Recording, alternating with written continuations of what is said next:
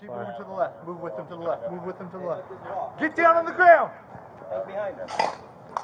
Get down on the ground and give up. You'll see the firearm in his left hand. Get down on the ground and put the gun down. Stop talking. Stop telling. Not fucking working. You're not.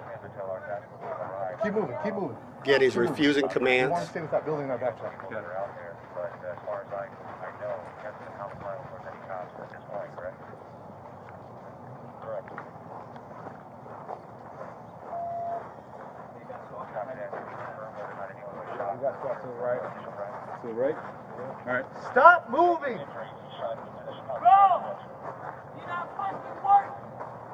Where's our, where's our, You want me to react? Like, you feel me?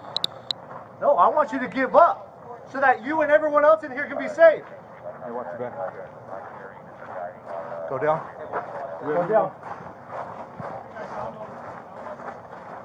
Get up in front of him a little bit. Let's move a little fast. Watch this there. Watch this there. Watch this there. Watch the pothole. You don't know what's over there. Again, many citizens are coming outside of their apartment. As you can see, he's armed with a firearm, had already fired two rounds prior to our arrival. Again, officers exercising great restraint and patience, trying to get him to surrender. At this time, we'll show you images of Brown raising the firearm towards the officers who are across the street. They're there to the left. There, you see their position. Uh, Brown is there to my, to the right. You can see he now has his arm up, pointing the firearm towards the officers. After this, we're going to show you actual body-worn camera footage of this event, and then we'll slow down that video so that you can see it more clearly as he raised the firearm up towards the officers. Move north. Move north. You two right there. Move north. He's over on this side. Any cops here?